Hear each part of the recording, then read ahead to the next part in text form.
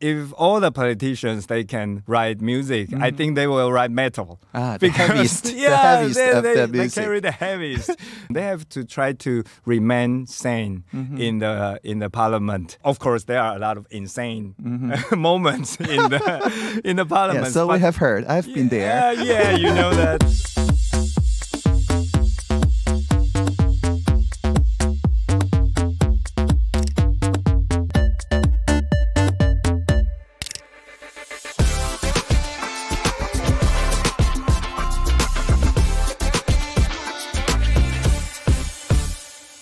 Local time, everyone, and welcome to this new episode of Innovative Minds with Audrey Tang. Today, we're going to meet a rocker turned legislator, also a dear friend of mine, Freddy Lim.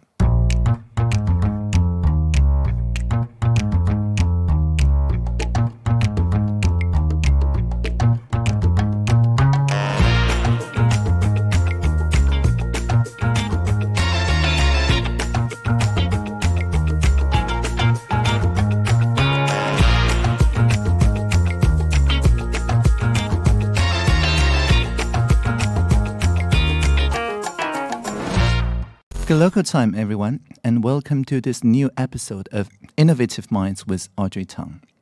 Today, we're going to meet a rocker turned legislator and also a dear friend of mine, Freddy Lim. He has been a Taiwan's legislature member since 2016, but he is also known internationally as the lead vocalist of Chthonic, which was formed in 1995 and is a headline act in Taiwan. We've known each other for more than 20 years and his music kept me company on countless nights while I was toiling away as an entrepreneur. Today, it's my first time interviewing Freddy as a host, so please join me in welcoming our special guest, Freddy Lim. Hello, Freddy. Hi, Audrey. Hi. And my first question why is your English name Freddy? I think I came up with this name uh, after the vocalist of Queen, mm. uh, Freddie Mercury. Mercury. Yes. Yeah, and also the the horror mu- movie called A Nightmare on Elm Street. Ah, that, okay. Yeah, That's that guy, also Freddy. Yeah, Freddy Krueger. Uh-huh. So uh, one is my favorite band, and the other one is my favorite horror, horror movie. So I, I feel like that's a cool name for me if if I need an English name. So I mm-hmm. I kept using that name since I was in junior high. Ah, yeah. okay. Uh, and like Freddie Mercury, uh, you're actually very uh, well versed and trained in classical piano. Uh, and also, you sang in choirs, right, in yeah. your childhood. Uh, what triggered this shift uh, from classical and choir music to heavy metal? First of all, I think I didn't have a good childhood memory. So I, I need a heavier music to carry my emotion. Ah, you need to shout. Yeah. -huh. So I, I found out that I like classical music of course, mm-hmm. but I need a heavier music, and I found out like hard rock or just uh, general mm-hmm. rock music since I was in junior high, and then I found out that I need heavier and heavier, so I came uh-huh. from hard rock to metal to extreme metal, death metal, black metal, and then I found that's the right music for me. Mm-hmm. I, the, I uh, that kind of music uh, stayed with me, uh, kept me more uh, sane. Kept you strong. Yeah, uh-huh. kept me str- uh, uh-huh. kept me strong and kept uh-huh. me to know how to stay the direction that I wanted to move forwards for uh, endless nights. I when I fought with my parent, mm-hmm. with my dad. Yeah. The that kind of music, metal music, kept me eased mm-hmm. and to calm me down mm-hmm. uh, at night. I just naturally found out that that that music is for me. Okay. Yeah. But why did you name your band Chthonic?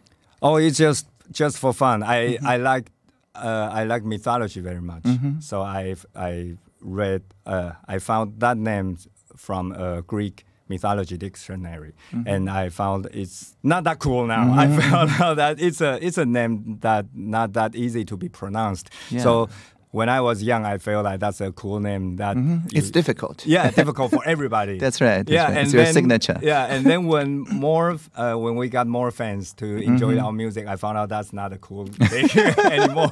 we need easier name, mm-hmm. but but yeah, but but it's just uh, been with us. That name just been with us. Although some of our managers uh, try to convince us to to change our band mm-hmm. names, but you just found out it no, we don't. We didn't want to do that. It's just not Yeah, that it- important yeah, anymore. it's stuck. It's stuck. yeah. Yeah.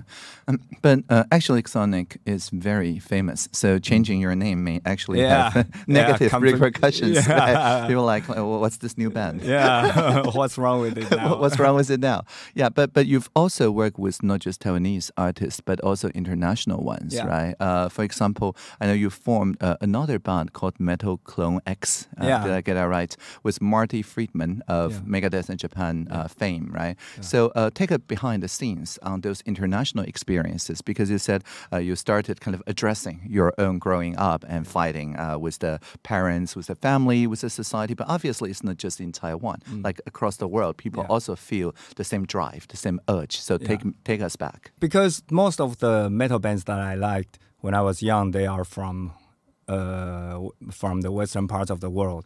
I found it was like the uh, one f- of the first couple uh, original metal bands in Taiwan. So uh, I was chasing the footsteps of the, the like the bands like Megadeth, Anthrax, all those band, uh, Slayers, all those bands that I enjoyed mostly.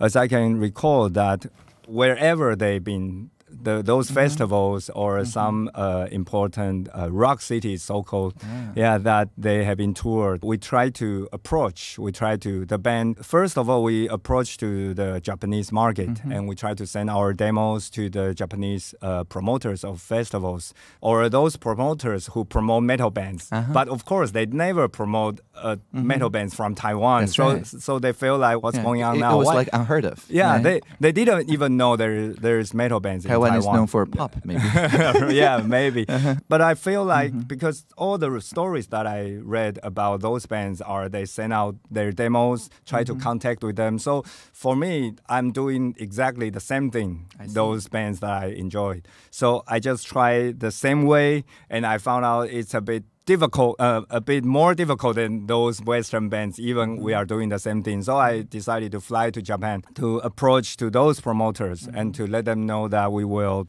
try to promote our own music by ourselves. If you like our music, you don't have to worry about how to mm-hmm. how much you have to to oh, push us. So we try to push our music independently for almost like five years since 2000 year to 2004 or mm-hmm. fifth. And we got a contract from the united states and mm-hmm. we got some contracts from the from japan japanese market too. Mm-hmm. So since then we are on the way and that we got a lot of friends, got a lot of uh, co-workers. Uh, we have uh, our managers in Japan, in the United States, and in Europe work with us, and we find our labels.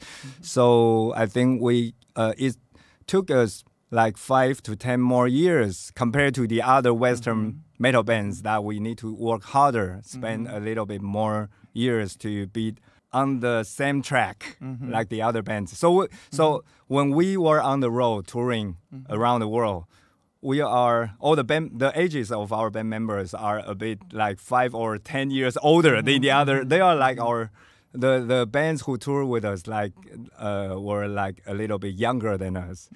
So it was kind of fun that we we look smaller, we look younger Yeah. because we are Asians, but actually we are older. So when we're touring with them, we are like educating them that don't drink too much. You're the adults. You're the Yeah, adults of the metal we are world. the adults. They are the teenagers. we I were see. like, oh shit, why why is happening like uh, in this way right now? Uh-huh, so so we it, uh it, yeah it took us a bit more years to be on the track like all the other metal bands. Yeah. So, um, so it's an international community, and it sounds like it took you a decade or more Uh, to get to the international stage. And when, once you're there, how does that affect your worldview, your politic insights, your view on the world, and so on? First of all, I think when we started our international career, mm-hmm. I found out we found out that the local elements, the mm-hmm. especially the the Taiwanese elements in our mm-hmm. music, emphasized our music, and especially to make our music special, to let the critics and to let the the our international fans, especially the metalheads, uh, understand or enjoy our music more. So in the first place, we thought that we just follow all the Western bands' footsteps, and whatever they do, we try to do the same thing. But then we found out that the the reason why they enjoy our music That's Mm-hmm. because we have our own specialties. We have our uh, those exotic Mm-hmm. Yeah, it's elements, the the Erhu, the yeah. indigenous mythology. Yeah, yeah, and pentatonic scales. Pentatonic scales, Yeah, yes. so all Uh-huh. those things let our let uh, get out the uh, attract our fans Mm-hmm. to our uh, concerts. So we thought we found out that all those uh, local uh, those Taiwanese elements, the stories and melodies, those things are very important. And then we found out that uh, not just uh, musically, but our fans or even other bands who are uh, who tour with us, they they are they enjoy they are interested in what's Taiwan. They interested in uh, our history and Taiwan to the world. yeah, they, they are interested about uh, what's different from Taiwan to Japan or from Taiwan to, to China or even uh, compare Taiwan to Thailand. So that's something that uh, we found out that to introduce the whole country is more important. Is is the right way to introduce our music. We uh, when we uh, introduce our music with the country, the whole context of the country, uh, make more people uh, appreciate what you are doing, and and those uh, the fans from the other countries they can they find the the echoes our feelings of our uh, no matter our lyrics, the backgrounds of our the background stories of our lyrics or the, our music. So there are lots of com- uh, great conversations between me, uh, between us, and our Finnish fans or Czech Yeah, fans yeah.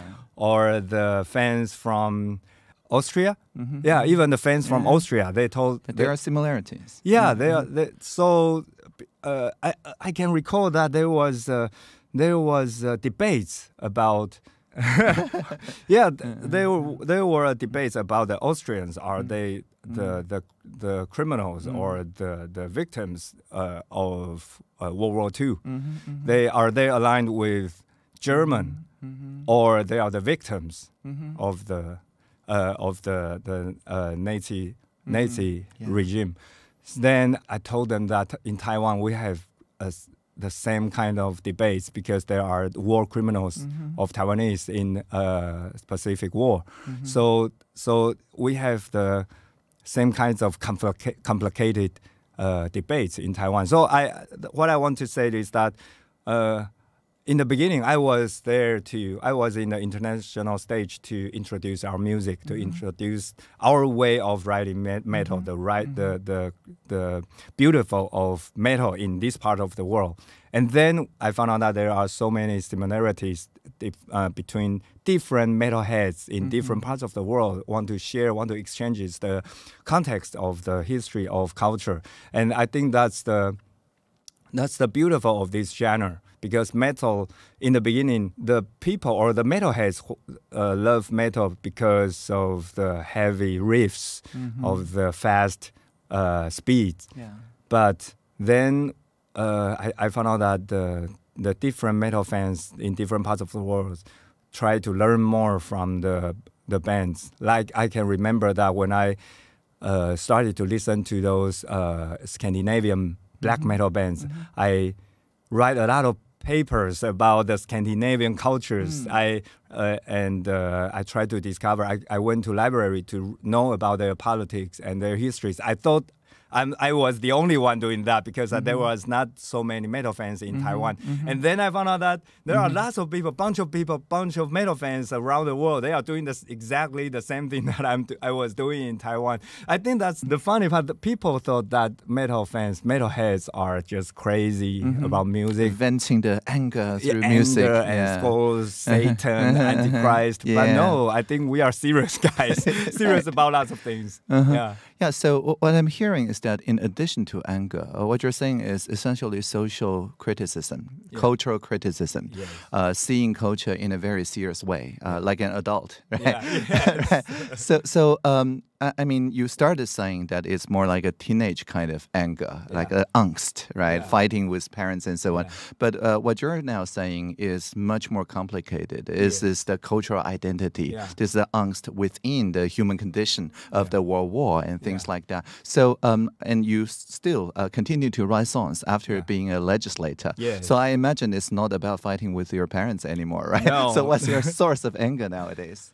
Uh, nowadays, of course, I the uh, the first of all, the emotions have become more complicated. Not just anger, but also frustration and also hopeless. Yeah, all kinds of different uh, feelings after I was in the parliament, Yeah. and then I I channel these emotions into our music. And so, just like all the other bands uh, in the early years, I used I I inspired by the Aboriginal mythologies to write our music, just like the Scandinavian mythology or the European, the the Greek mythologies. I think that I t- should know more about the local uh, mythologies, uh, the culture, local cultures. And then I found out that the heavy uh, burden, the heavy stories, the complex, uh, I should say, the those stories about the Taiwanese people who fought uh, with the outsiders or the, the authoritarian rulers or, or during the Pacific Wars, all those uh, topics are also the other metal bands from other parts of the world they will write about their own homeland and i found out that we have carried the same kinds of angers. So in the first few years first few albums i i was writing about stories uh, on these levels. And then in recent years like i just said that i found out that after i was in the parliament i felt more complicated uh, emotions. So I the late, latest album called "The Battlefields of Ashura" in 2018. That that might be the most. Uh, that might be the, the album that carries the most complicated emotions. I mature.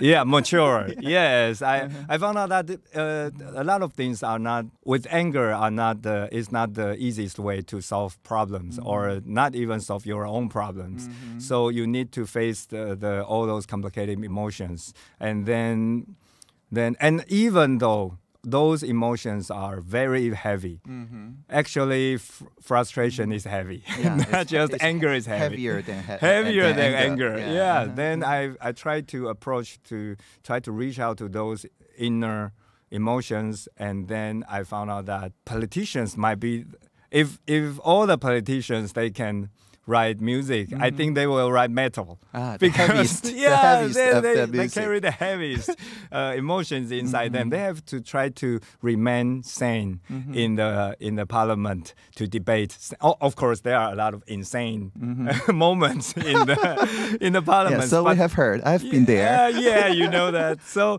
but but most of the parliamentarians try Mm-hmm. to keep uh, sane in one in one hand, but in the other hand, they they still got heavy burden inside them. They need to find a way to spread express them out.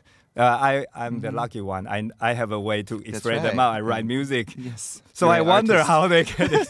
That's why they have to. They are fist fights. Uh-huh. I see. It's, it's acting out, Yeah, right? yes. okay.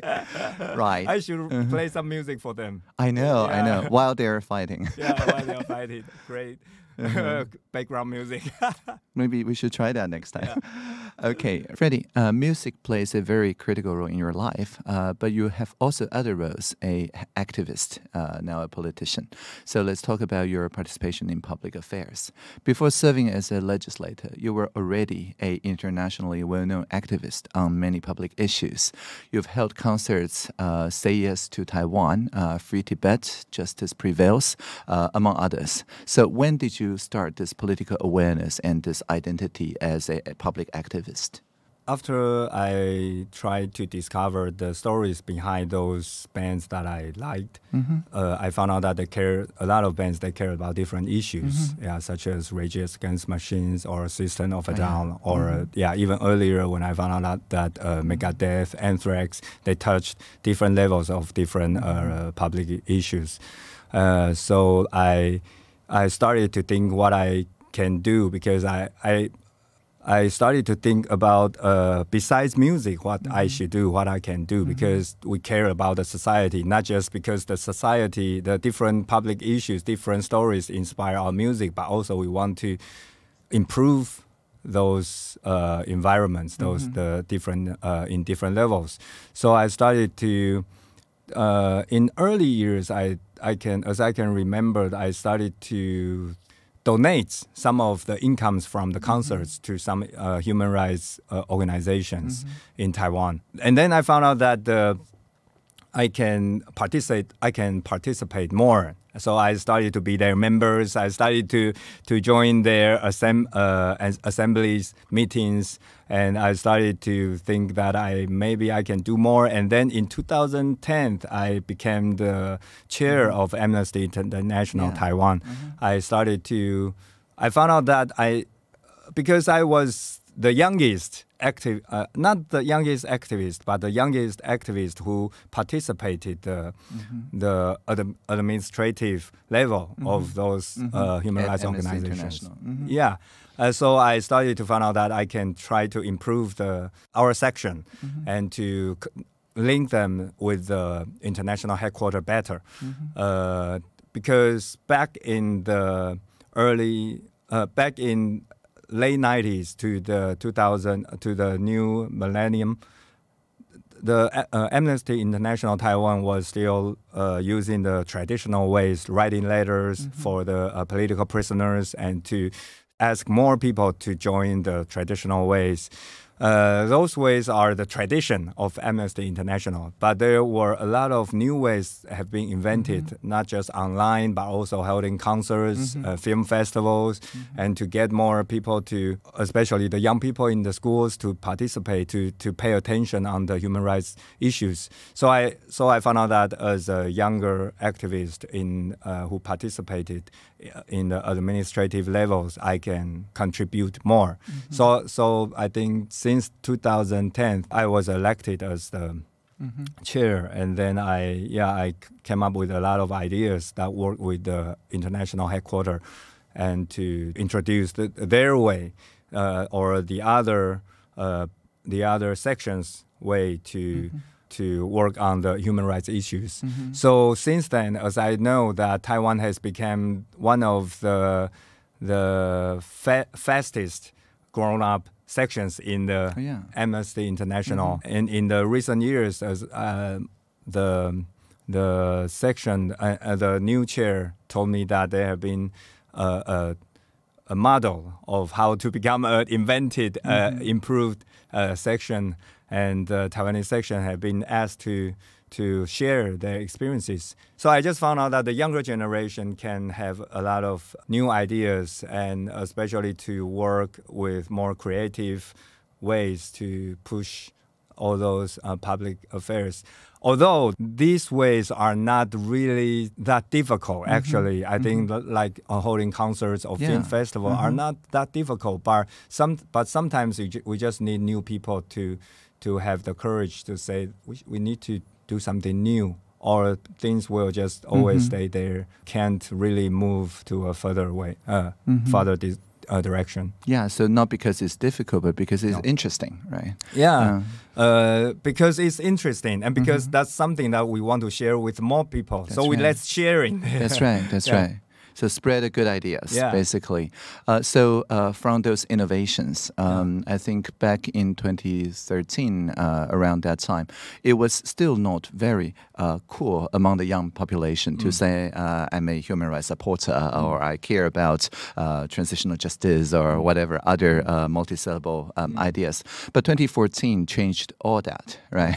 Yeah. so by 2014, uh, the younger generation it become very cool to say uh, I support this social cause or uh, I support uh, justice of this kind and I want to right the wrongs of our previous generations and so on. Uh, and a lot of that has been attributed to the Sunflower Movement. Although we know there's many movements around that time, uh, but Sunflower Movement is most known uh, internationally. And you have also uh, founded a political party. Oh, yeah. Yeah, in 2015. And most people say, oh, that's the party as a result of the sunflower movement, right? So looking back, uh, how would you say how sunflower Sunflower Movement changed not just your own course of engaging politics, but the entire generation?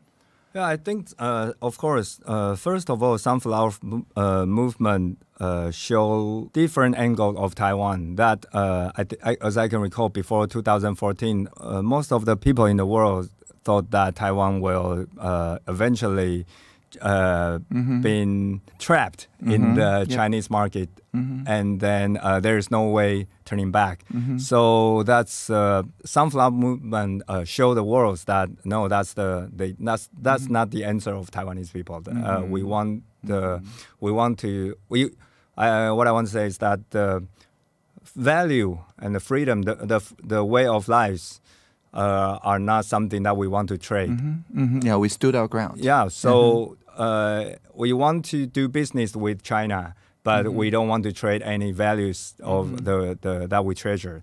That's the the first thing. And the second thing, I think it's even more important is that uh, we let the younger people to take the leadership mm-hmm. in the movement. That's right. And uh, uh, because in as I just said that in 2010, I was may, I was maybe the youngest um, uh, activist in all the uh, human rights organizations mm-hmm. in the administrative mm-hmm. levels, not just in the Amnesty International, mm-hmm. but all the human That's rights right. organizations. Right. So, mm-hmm. so uh, sunflower, sunflower movement led the younger generation, especially those students, to take the leadership to lead the whole movement, mm-hmm. and not just sunflower movement, but also those the mm-hmm. other social mm-hmm. activities. After that, That's right. there were a lot of uh, mm-hmm. young leaders, yeah, young high school students, leaders. Yeah, yeah. school, mm-hmm. yeah, high, even high school mm-hmm. students to take leadership in different parts of social movements, and I think that make the Taiwanese people know that if we let the younger generation take the leadership, things are not that hopeless anymore. Even under Ma's administration, we uh, things could change if we, with uh, more creative mm-hmm, ideas, mm-hmm, we mm-hmm. let the younger people to think what we should do. I think that's very important. To that shows. I think that's the legacy of sunflower movement. Mm-hmm. That every time when we found uh, when, when we are frustrated, when we are we feel like we are trapped mm-hmm. in mm-hmm. the middle of nowhere, we mm-hmm. don't know how to keep moving forward. We should we should try to get more younger people to right. to join in the movement to think about mm-hmm. what we should do. It's just like 2018. That's the same thing. 2018 we have come from a lot of difficulties and and uh, a lot of reformations that the, this administration mm-hmm. has tried to approach, but we mm-hmm. we have faced so many difficulties. And then after the elections of 2018 mm-hmm we saw a lot of younger generations mm-hmm. they c- come up to to think what we should do, especially the mm-hmm. referendum of yeah. about the LGBTQ, yes, the marriage equality. Yeah. I think the young people took the lead. Yeah. Uh-huh. So I think that's the uh, that's the legacy of sunflower movement, and that's mm-hmm. what I think we Audrey and I and yeah, a lot of people we, now, yeah. we still try to uh, we still try to substance yes. that legacy. Mm-hmm. Try to let more. We can't uh, can't let that legacy stop in somewhere. Mm-hmm. We should mm-hmm. still mm-hmm. keep moving forward. Yeah. That's right. Yeah. Um, so you mentioned the Ma Ying-jeou administration yeah. uh, at the end of 2014, even when it's still the Ma Ying-jeou administration, yeah. but they did something different after the mayoral election. Showed that uh, the mayoral candidate that supported open government can appear from nowhere and become a mayor.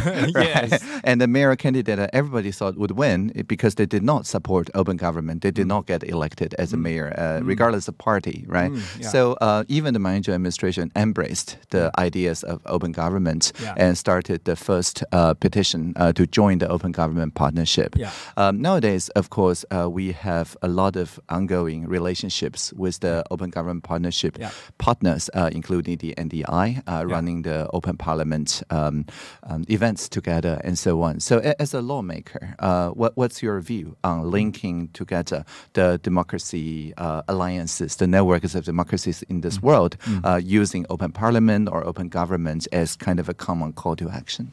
Yeah, I think first of all, I think just uh, like you said that uh, actually a lot of new uh, tools or the ideas of, of open mm-hmm. government, open data, open open mm-hmm. information mm-hmm. uh, has been uh, a very key uh, part of the sunflower, sunflower movement. Mm-hmm. So that uh, shows that with more open uh, tools, more open ways to let the people participate in the movements can uh, improve the whole movement, Mhm, can mhm. improve the whole direction, and can get more people want to participate. It's more inclusive. yeah, Yes. more inc- uh, yeah, more inclusive. Mhm. So, so these kind of ideas have been channeled to the government, and the government become more open and could, uh, and that make Taiwan become. I, I do believe that become uh, one of the most open government in the Mhm, world, even we mhm. are not a member of OGP. Mhm. So I think, first of all, I think this something. This is something that we should share with the world, and this Mhm. is uh, OGP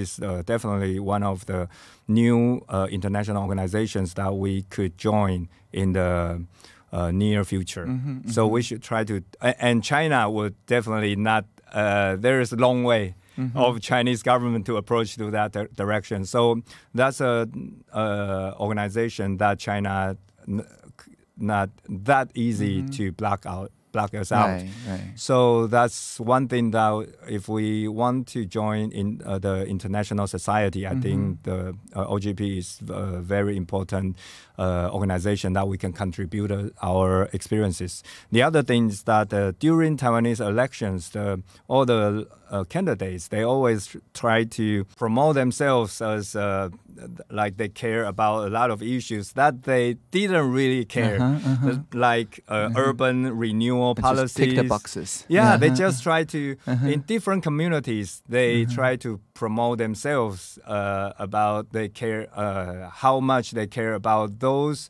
policies that these communities care about. Mhm, like mhm. to the old communities, Mhm. the candidates will say that he's the he Mhm. care about the Mhm. urban renewal policies Mhm. mostly.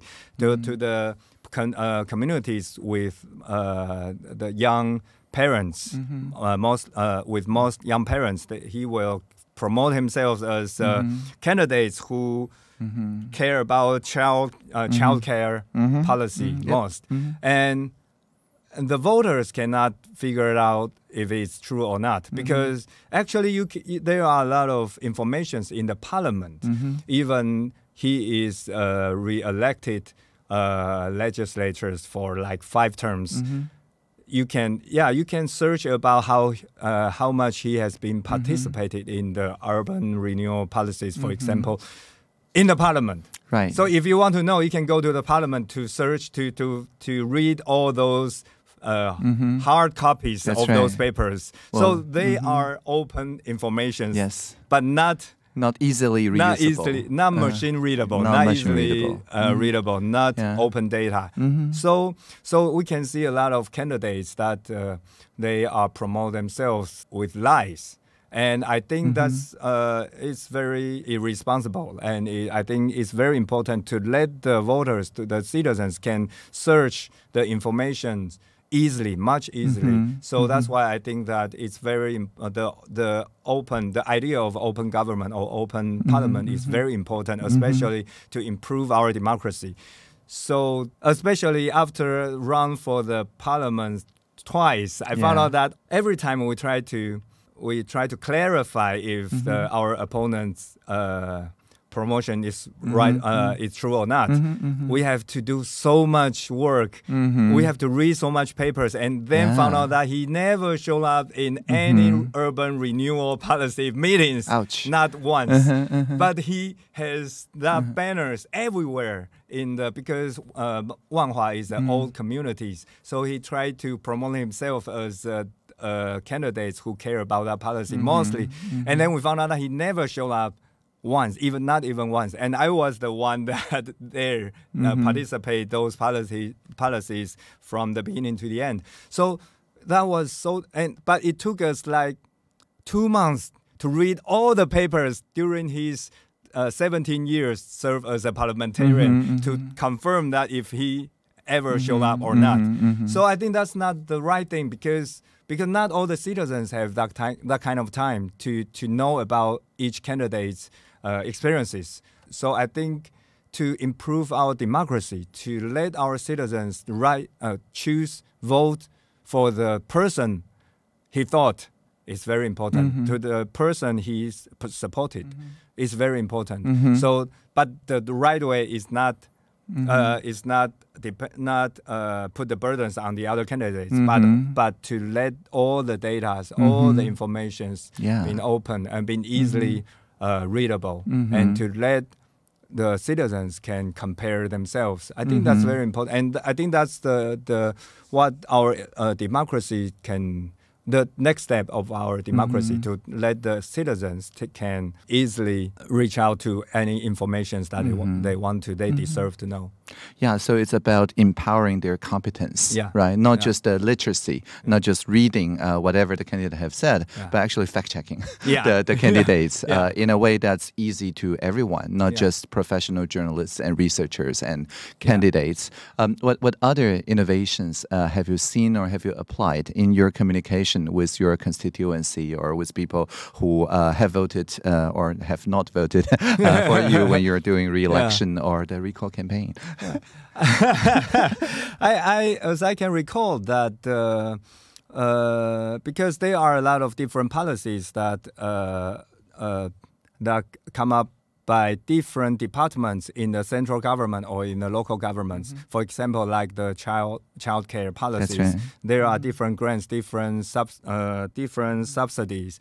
Uh, in different departments, so people, we, I, uh, my team just found out that our uh, the citizens in my districts ca- called to ask about different Mm-hmm. uh, s- subsidies in different departments. We always have to to check for them Mm-hmm. because they are for different age of different child. Different children have different subsidies Yep. and different um, uh, restrictions as well. So then I come up with the idea. My friends uh, Xiao Mm-hmm. is an engineer that we try to we, we write an uh, software to let each uh, voters uh, uh, to let each citizen they can uh, fill a form and to learn about uh, know about all the subsidies from different different departments that they can Uh-huh. uh, they can apply for.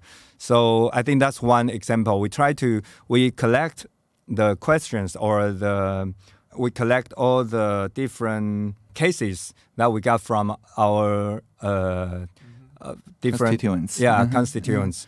Uh-huh. Then we we see what uh, if there are some ways that we can use the uh, innovate innovative way to solve their problems, and then we try to come up with some softwares or platforms to let them could can easily use. We also introduce these things to the uh, central departments as well, to the Mhm. 卫福部的 Mhm. The 英文 Ministry of Health and Welfare. yeah, to Uh-huh. the- uh, we also uh, introduced to them, and now I, I I think now they have uh, websites Yep.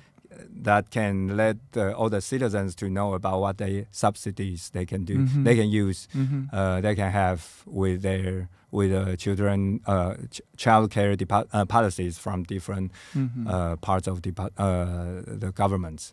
Right. So uh, basically, using open data, yeah. uh, you've delivered government services in a way yeah. tailor made to your constituents yeah. Uh, and yeah. then donated it back so that the ministry can uh, also improve uh, their services. And I, during I, the, I think this is really great. Yeah, and during the pandemic, yeah. I think that mm -hmm. because last year, last mm -hmm. May, because people has, has to line up for the. Mm -hmm.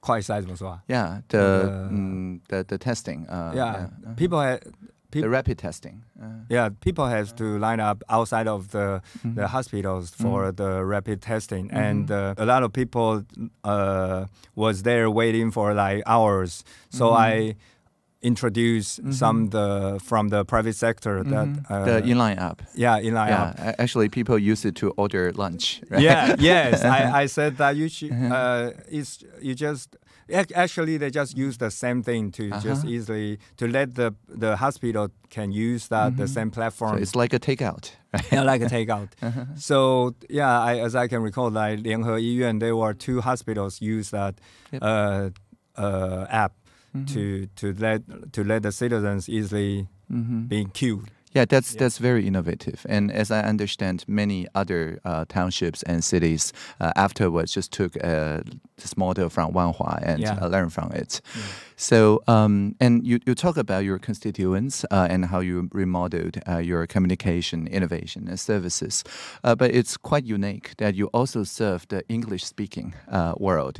right? You have a English podcast. Uh, a lot of your communication materials are bilingual, uh, and uh, even though that uh, it doesn't directly uh, affect them uh, because many of the viewers are outside Taiwan, but you still uh, talk to them uh, nevertheless. so, so why do you choose uh, to share via English uh, through these platforms? In the first place, I just I was just pissed by some of the wrong informations about Taiwan in the early uh, stages of the pandemic. I see. Yeah, Oh, in so the first few again months. anger and frustration. Yes, I was so pissed about uh, that Tedro, Uh-huh. uh, the, Oh, yeah, the dire- uh, yes, director Tedros, general yes. Uh-huh. of WHO, saying a lot of wrong things Mm-hmm, and offensive uh, words about Taiwan, Mm-hmm. and I was like, okay, let's try what we can do now. Mm-hmm, And I.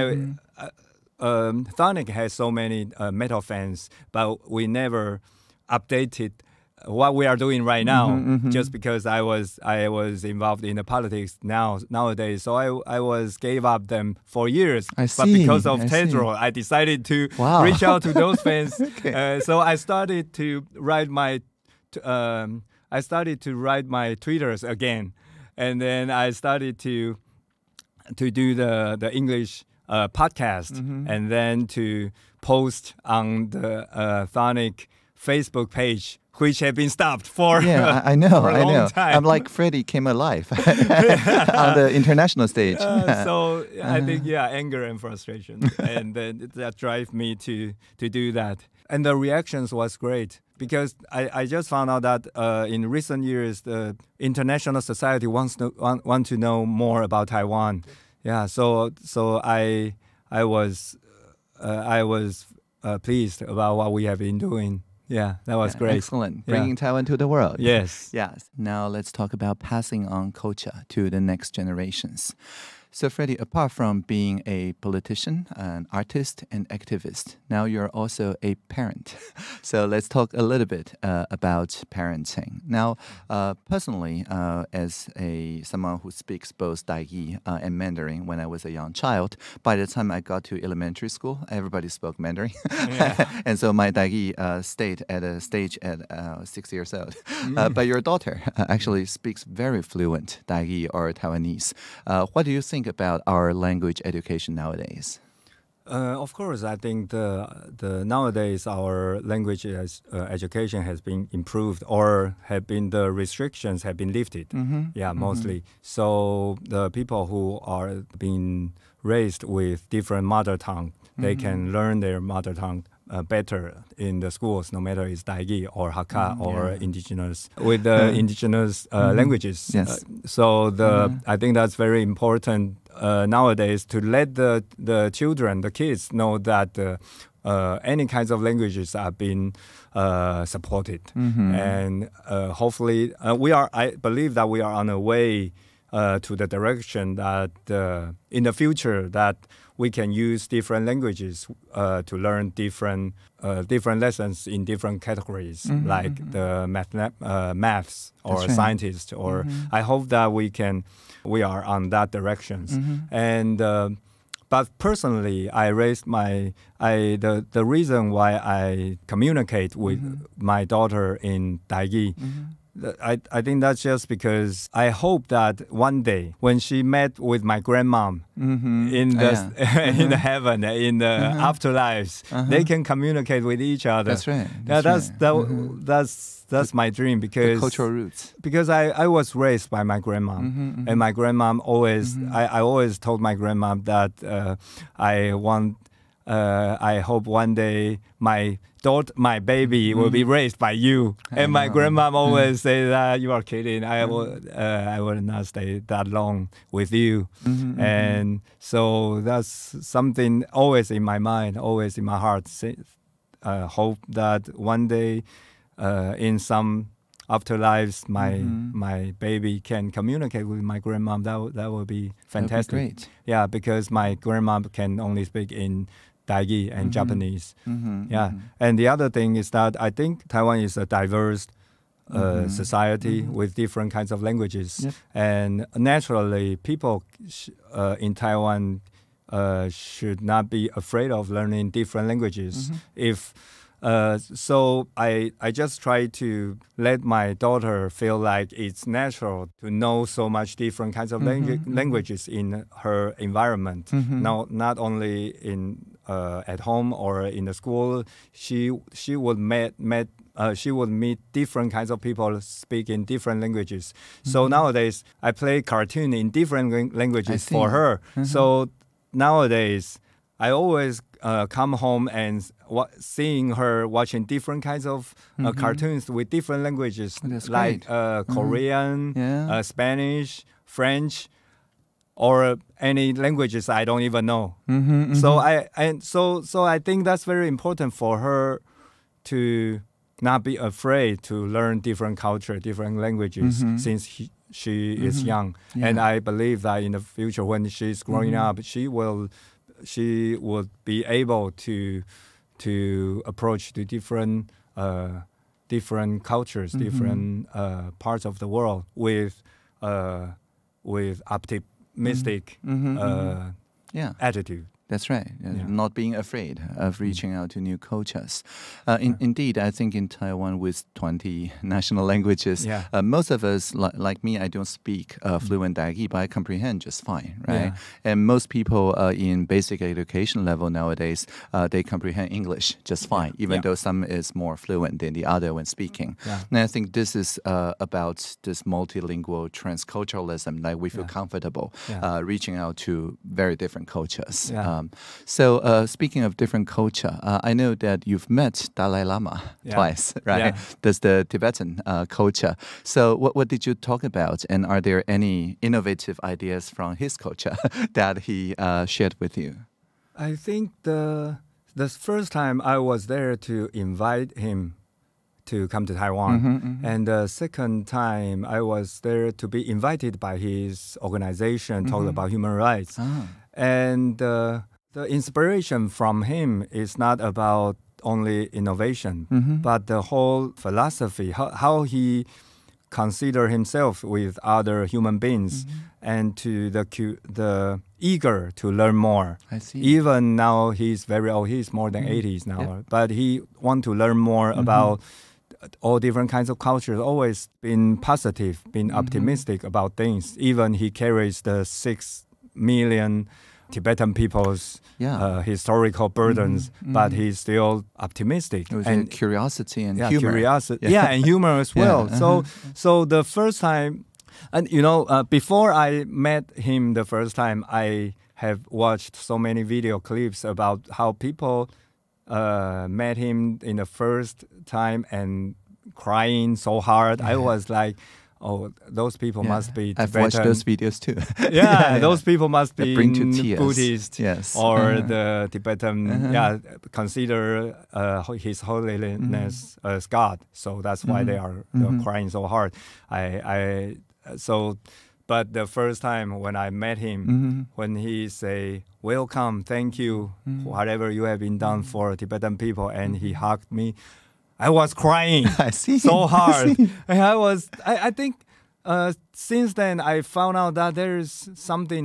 He trained his mind and heart, his soul, so much that he can, he can be so strong. Not in a, Mhm. not as a, not the physical Mhm, is strong, mhm, but his soul is so strong, and he also believe in what he's saying Mhm. when he say welcome, when he say when he's saying welcome or thank you for whatever you have been done for Tibetan people, you can Mhm. feel right in your heart that he thank you.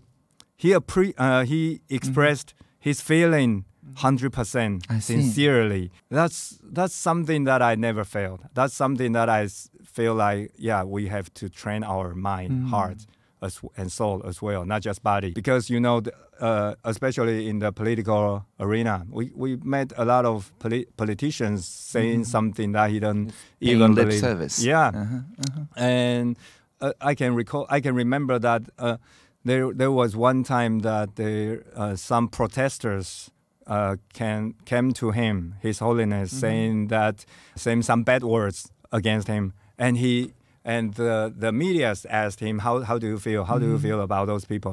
He was saying that this is the freedom of speech. Mm-hmm, This uh, I love uh, all kinds of uh, opinions. mm-hmm. You know that he mean it. You know that he truly mean it what he is saying. Not like all the other politicians when the some uh, politicians pitch tip, uh, myself as well when I face the recall. Uh-huh. Some Yeah. people uh, come from me and to say some bad words Yeah. or some yeah just yeah just want to attack me. I can't say mm-hmm. that's mm-hmm. great. Mm-hmm. That's good Freedom thing. of speech. freedom of speech. That's something I appreciate so much. I love you. I can. I, I couldn't have said that. That's even I said that I cannot. I. I uh, yeah, it would not be sincere. Yeah. yeah, that's just something that I have to say because uh-huh. media is shooting at me, uh-huh. so I have to uh-huh. say that's a freedom of speech. But when you are saying, when you're saying His Holiness mm-hmm. saying the, exactly the same words what the other politicians are saying, but you know that mm-hmm. from your heart, say, you feel that he mm-hmm. sincerely mean Actually it, mean it. actually mean it. So that's something I think I learned from him, and I think I'm still trying. I, I'm still trying to learn, trying to train my soul and mind in on that level. That's excellent. Yeah. Um, so um, yeah, so for those aiming to become a more sincere or authentic uh, politician uh, or a artist, uh, what words of wisdom would you offer to them? I think first of all, you have to do those things that can touch yourself I first. see. Yeah, Mhm. not just not just want to promote what you are doing, but you have to do something touch yourself. Uh, You you feel the the eager and the power inside you and what you want to do. That's very important. So I always ask those young musicians not think about how to write music touching your fans, but touch yourself. You, Hmm. if you listen, if you are hearing your listening your own music uh, with tear dropping, that's the right music that you want to share to the world That's right. if there is no any if there is no one even not even one song that you will listen with your tears then it's Mhm. very difficult to promote to share those music to others so uh, in the political arena that's the same thing as well if there Mhm. is no cause no goal that you feel that's something you you really want to do it no matter if there's some uh, anything else any people anybody else care about but you do care a lot Mhm. that's something your personal want to achieve then you just consider political uh, you just consider politics just as your career Mm. you should do something that's so important that no matter if you are politicians or not, but you as a Mhm. citizen, as a human being, you will do it because that's something you have to do. That's very important. Yes, it has to come from inside, Yeah. the inner strength. Yeah. Well, thank you, Freddy. That's very deep. Uh, Thank thank you. you so much for the deep dialogue and insightful thoughts. Uh, really happy to spend time uh, with such a like-minded partner. So thank you. Freddy. Yeah. Thank you so, so yes. So for our audience, please check for more information and video on TaiwanPlus.com, and we have uh, YouTube channels too. And if you like today's episode, be sure to subscribe and share. Thank you again, Freddy. See you next you. time. I think it might be the most serious interview, oh, the most serious conversations between me and Audrey because we know each other since we were well, back in more than 20 years ago. So yeah, I can still remember that we talked music. Uh, we were used to talk music and some nerds. yeah, nerds topics. and I think today is the longest and uh, serious conversation between me and Audrey. In the early years of my band, Chthonic, uh, in 1996, or 1998 or 1999, there were some uh, early fans who were engineers, uh, software engineers, coders, uh, and includes Audrey. And so we hang out with each other, and they, they helped us. They helped the band to set up our first website and the band's mailing uh, system, and yeah, all those things, and and came to our band practice as well. Yeah. And so we so we hang out with each uh, we hang out in some coffee shops together and yeah, talk some stupid things. I think she's excellent. And I can still remember the first day when I met him, uh, met her, uh, the first day when I met her in the parliament, parliament as a member of the parliament, and she is a member of the cabinet. We were, it was kind of, yeah, I, I, I can't really find the right, right words to describe the feeling, but we were like, wow, we, we never expected this, yeah, this would happen, yeah, yeah.